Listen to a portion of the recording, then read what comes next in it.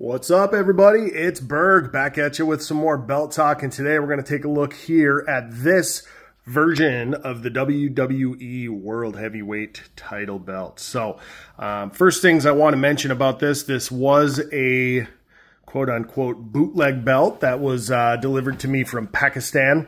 So, made by a Pakistan maker. We're going to look at the good and the bad of this belt because there are some pros, there are some cons. And uh, then I'm going to let you guys know that this belt will be for sale after this video is posted. So if you're interested in buying this belt, hit me up. I'd be happy to talk with you and see if we can't make a deal. But let's take a peek here at the WWE World Heavyweight title belt. First things first, let's get a look at these plates. The main plate depth is very close to 10 millimeters. Um, the side plates a little bit closer to four millimeters. Heavy plates, definitely, um, I would say well-made plates uh, using the zinc. So as we take a closer look here at the main plate, we can see at the top we've got the eagle paying homage to the uh, lineage of the WWE title. Lions etched into the side. You see very deep etching, capturing all the floral and vine patterns. Making our way around the plate here, we've got the lion at the bottom, and now, much like a lot of the other bootleg belts, this lion is not as accurate as what we see on like the shop replica or the original version. This looks a little more like maybe a baboon, I've heard people say. As we make our way around though, we'll see that the etching on the other side of the main plate here, still very detailed. We've got the other lion depicted on the right side of the main plate, the floral pattern. And we do see kind of this rope style border that carries around the main plate as well as around the edge of the main plate. We've got our faux gems that are sitting in here. So these I'm assuming are just plastic. These are not cubic zirconia.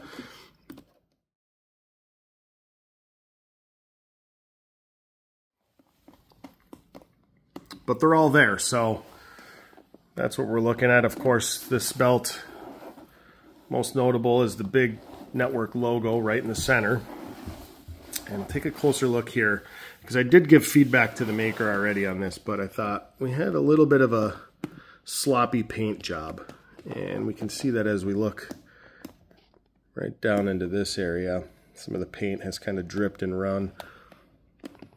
You know, we've got paint on some of the uh, the gold latitude, longitude lines here of the globe. So not the best quality paint job in terms of neatness. A little bit sloppy in my opinion. See that over on one of the side plates too. You know, we've got just some excess paint. Could have been a little bit cleaner.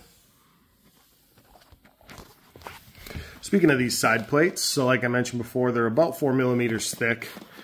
And you'll notice something about these. On the back, we see that, of course, they're covered by the leather backing. But we didn't see any screws other than the four that hold the posts. We don't see any screws on the front, which tells me that these side plates are not removable.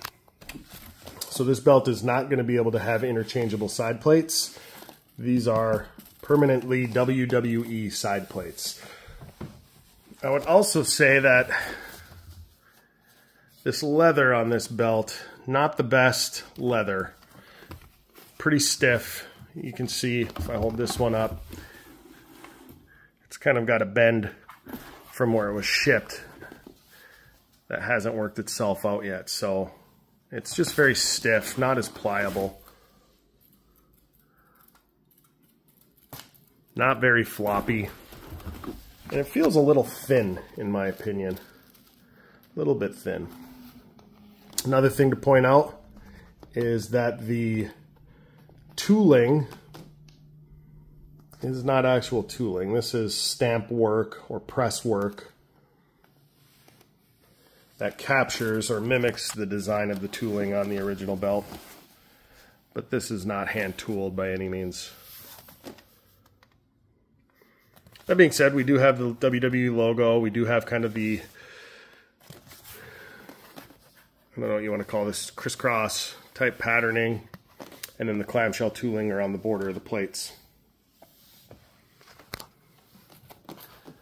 We've got the tip on this belt, which does have a metal tip, but something that disappointed me with this belt is that this is not a full tip.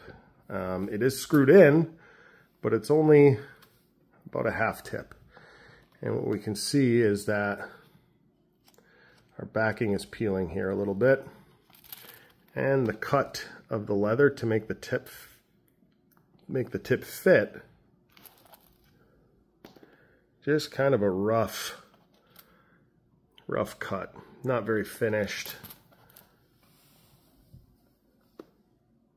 Yeah you can see just looks looks sloppy unfinished not very clean. And that bu that bugs me. I don't like that. I would have preferred to see this with a full tip with a clean cut of the leather to make sure that everything looked nice and finished. So flip the belt over. Oh, it is a heavy belt, I will tell you that. Another thing to point out that was a bit of a detractor for me is you see this kind of discolored area here on the back of the strap.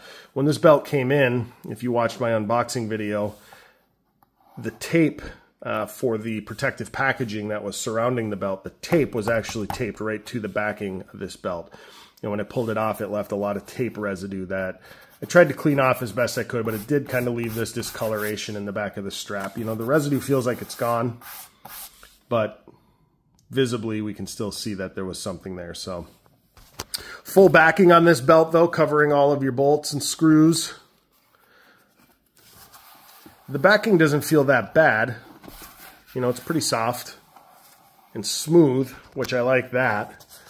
But like we noticed at the uh, the end with the belt tip, the um, the backing was starting to peel over here, and I think that's just a result of kind of this sloppy work with the with the tip here, trying to make the tip fit. So, looking at the edges of the belt, finished okay. This belt is a heavy belt, though. Uh, I didn't weigh it. If I had to guesstimate, though, I bet you we're in and around eight pounds on this. And that's this main plate, obviously very thick, so a lot of weight added there.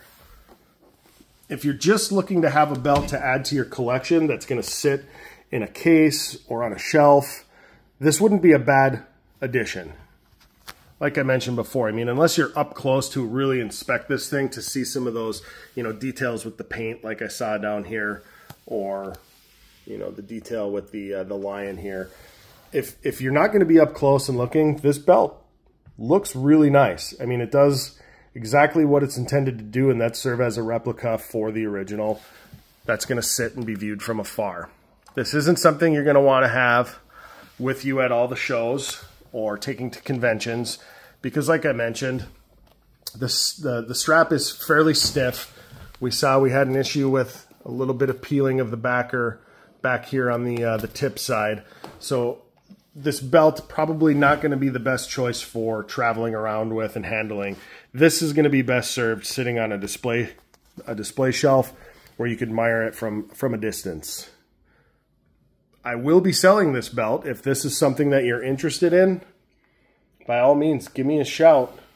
We'll talk prices, see if you've got a good offer, but I'm willing to let this one go. I've never personally been a big fan of this design of the World Heavyweight Championship title belt. And if you're interested, by all means, hit me up. Let's talk about it, see if we can't make a deal. But I wanted to give you guys at least um, a look at, at what we're dealing with here. It's not a bad belt. I'm going to say that right now. It's not a bad belt if you are somebody who is not a belt snob like some of us in the hobby, this is an awesome belt, you know? You're going to be able to impress people with this simply because you've got full metal plates, almost 10 millimeters thick, 4 millimeters on this side. All the gems are there. It's on a real leather strap. It's heavy, and from a distance, like I mentioned, sitting on a shelf, not a bad looking belt. It's going to serve its purpose that way. But for now, Thanks for checking out this uh, quick video on the World Heavyweight Championship replica title belt.